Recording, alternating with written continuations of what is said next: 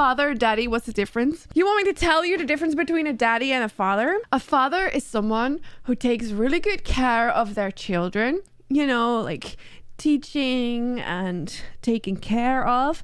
And a daddy, a daddy just spanks.